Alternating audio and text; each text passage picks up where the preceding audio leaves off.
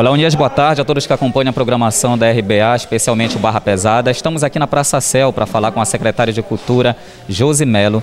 É, Josi, fala para gente é, um resumo do que ocorreu nessa reunião de fundamental importância né, e, basicamente, o objetivo dessa reunião. É, boa tarde. Né? O objetivo da nossa reunião é o alinhamento com nossos projetos sociais do nosso município.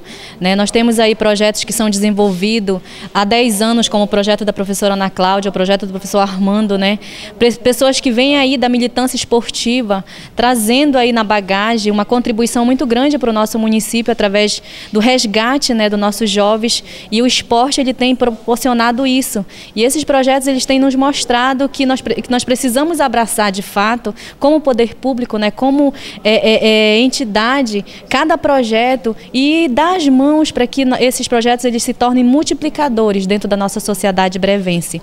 Né. Quero muito é, frisar aqui o quanto é importante essa parceria, o quanto é importante esse olhar do poder público para esses projetos, né, o quanto é importante essas políticas públicas serem feitas através né, dessas, dessas entidades que vêm desenvolvendo esse esse resgate dentro da nossa sociedade. É uma contribuição que muitas das vezes, para muitas pessoas, é mínimo, mas para esses jovens é de grandiosidade, né? essa contribuição, essa abertura, trazer essas, esses jovens para dentro dos projetos com uma ocupação para que eles é, estejam inseridos e saiam da ociosidade, é muito gratificante, porque além de, de transformar grandes atletas, estarão saindo ali grandes cidadãos. Né? Então a gente quer muito isso, isso. É, enquanto secretaria, o nosso papel é atender a comunidade, o nosso papel é trabalhar para a nossa comunidade brevense e trabalhar sempre com o pé no chão, com a permissão de Deus, né, para que nós possamos fazer um trabalho